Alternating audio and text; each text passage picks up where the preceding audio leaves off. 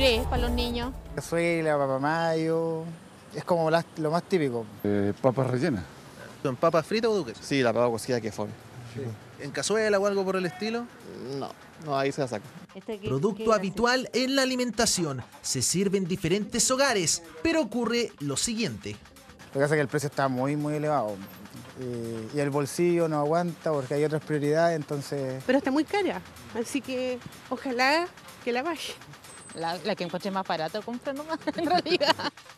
Un promedio de 1.800 pesos el kilo es lo que registra esta hortaliza en el sitio oficial de Odepa Bio Bio.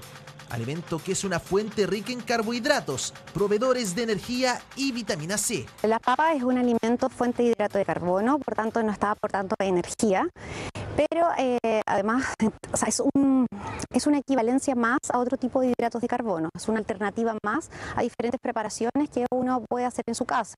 Hay papas en la forma de puré, papas como ensalada rusa. Variaciones que se podrían registrar en otros productos, considerando las altas temperaturas y el reciente frente.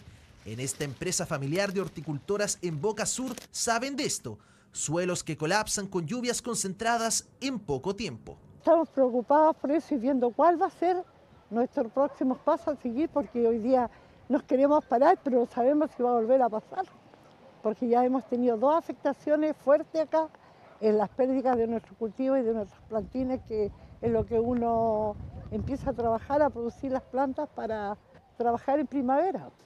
Con estos temporales, la que no se puede plantar porque está inundado, hay que esperar que baje todo para que la tierra chupe el agua.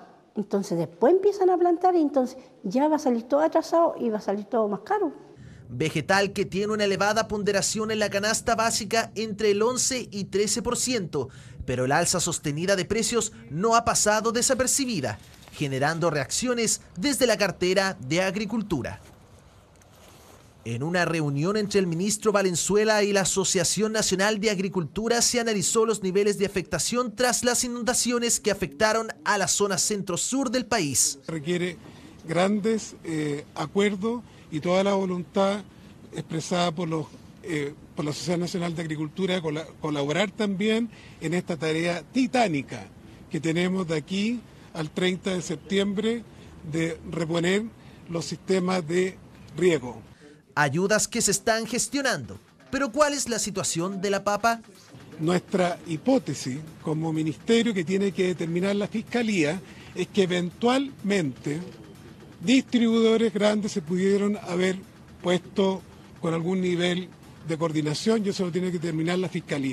Hay un menor volumen disponible eh, de papa y por eso han aumentado eh, los precios. Y también han aumentado los precios porque ese stock de papa se vendió mucho más rápido que un año normal, producto de los compromisos financieros que tenían esos agricultores.